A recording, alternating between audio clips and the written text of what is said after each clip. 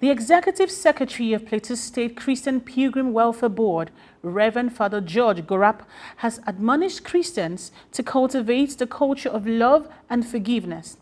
Father Gorap gave this admonition during his homily at Holy Cross Cathedral, Pankshin, Plateau State. CTV's Welbe Ogak completes the report. Reverend Father George Gorap reiterated that it is obvious that only through forgiveness that one's sins are forgiven and said forgiveness is mandatory for eternity with Christ. Forgiveness brings self-healing.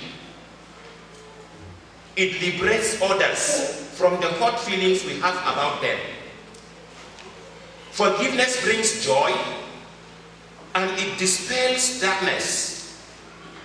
When you forgive, you liberate yourself from the final judgment of God. Because this is how my Father in heaven will treat you unless you forgive your brother from your heart. When you forgive, you liberate others as well. And in that way, God has forgiven them. That is how our accounts are settled. In forgiveness, no one owes anybody. Therefore, I do not say to you, you shall forgive seven times, but 77 times seven. He called on the people to remain prayerful and always forgive, saying, unforgiveness leads to condemnation. So Jesus tells us today, there is no recognizable limit to forgiveness. No, no limit no specified limit except you must continue to forgive and forgive and forgive.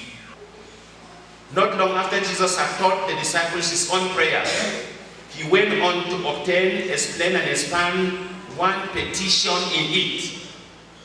For if you forgive men their trespasses, your heavenly Father will also forgive you your own trespasses.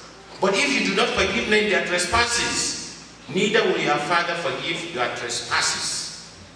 Matthew's Gospel chapter 6 verse 14.